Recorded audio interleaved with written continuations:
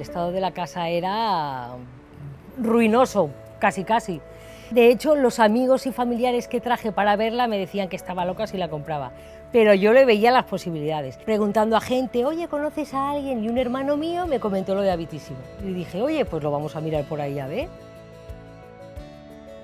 Bueno, Habitísimo la verdad que te da una gran garantía, una gran tranquilidad y un gran ahorro de tiempo a la hora de buscar clientes. ¿no? A mí el que me gustó más fue Miguel, yo lo vi muy formal, me dio el presupuesto al día siguiente, como Dios manda, eh, todo súper calculado, como yo, súper perfeccionista.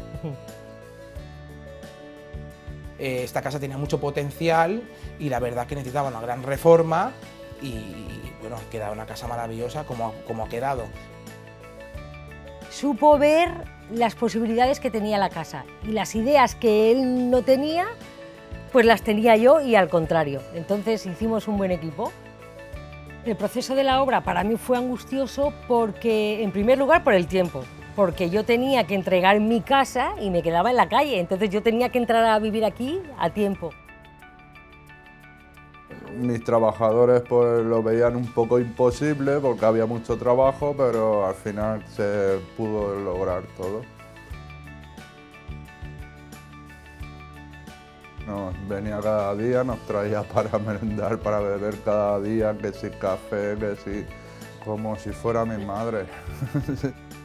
No, la verdad es que éramos como una familia, o sea, mis hijos cuando los veían, hola Miguel, ¿cómo estás? Hola guapo, vamos a la natación, vamos al cole, o sea, muy bien. Los niños venían y ¿cuál es, cuál es mi, mi, mi baño? ¿Y cómo me lo vas a acabar? ¿Y cómo tal?